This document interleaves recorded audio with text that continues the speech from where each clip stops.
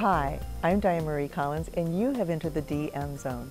Today, my guest is Mary Ross Buchholz. Welcome, Mary Ross. Thank you. Nice Glad- to have you here visiting with us. Glad to be here. Good, good. Tell me about your art. Now, I understand you're doing drawing. Tell me about that.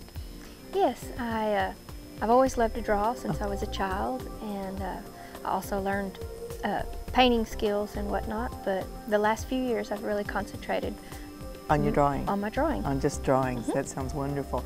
And you are a Texas girl. yes, And so not far from here in, in Corsicana, in, in Texas, we were talking in Texas distance, six hours is not much. not much. But did you grow up on a ranch? I did. I grew up ranching and uh, a long ranching heritage from both sides, my husband's and, and my side, and my mom and my dad. So Yeah, and so that's your subject. that's my subject matter. Okay. Do you do working cowboys or do you do ranch work life or what? I, I really like the portraiture and Mm-hmm. the, the close-up shots, um, animals, horses.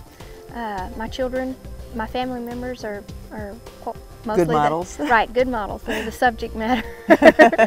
so, And, and, and do you like to tell stories with those drawings or a piece of a story? a piece of a story, I think. Uh, uh, I like to focus also on the eye, if I can, and and I'm doing some different things. I'm getting Having into fun. some action and but uh, and some cropping, some unique perspective. hmm That sounds exciting. Well, your work is really wonderful. Tell me about being a member of the WAA and being here this year with the show at the Pearce Museum.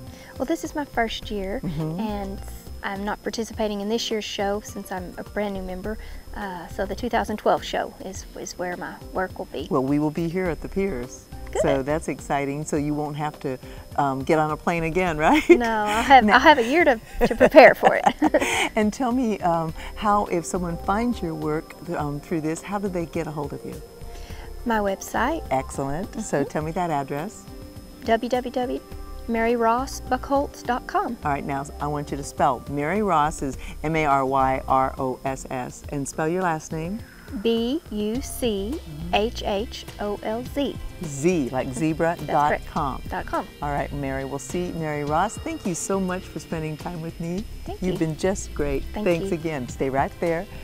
You have been in the DM zone. Come back soon.